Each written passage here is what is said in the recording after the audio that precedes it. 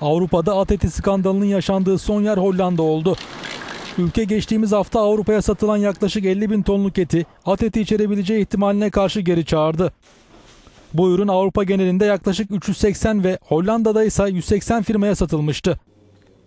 Avrupa'da bu etin en büyük alıcıları Fransa, Almanya ve İspanya. Geçtiğimiz Şubat ayında aynı Selten firması bifteğe at eti karıştırdığı gerekçesiyle uyarılmıştı. Şu ana kadar at eti skandalının yaşandığı Avrupa ülkeleri arasında Fransa, İngiltere, Almanya, İrlanda, İsviçre, İsveç ve Romanya bulunuyor. At özellikle dondurulmuş gıda ürünleri içinde daha fazla bulunduğu ortaya çıktı. Şubat ayında Fransız Spankero firması kendisini tartışmaların odağında buldu. Daha çok dondurulmuş gıdalar için et satan firmanın ürünlerini at eti karıştırdığı anlaşıldı.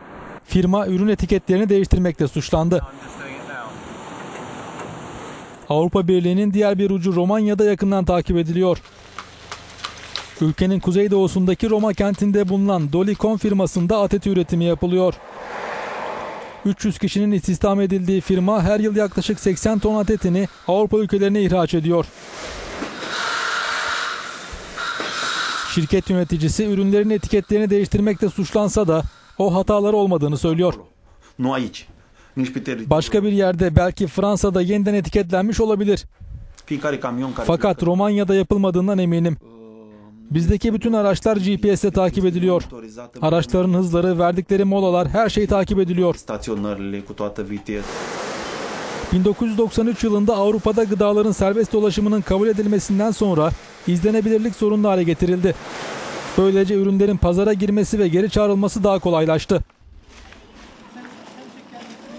Benzer bir hata Çek Cumhuriyeti'nin başkenti Prag'daki IKEA restoranında karşımıza çıktı. Çek Veteriner Ajansı'ndan yetkili ürünlerin sağlıklı olduğunu söylüyor. Aldığımız bilgilere göre bütün at etleri piyasaya yasal yollardan girdi. Bunun anlamı ürünler tüketici için kesinlikle güvenli. Sadece dağıtım sırasında at etleri biftek olarak tekrar etiketlenmiş. Yaşanan son gıda krizini hatırlayalım. 1996'da İngiltere'de patlak veren deli dana hastalığından dolayı 200'den fazla kişi hayatını kaybetti.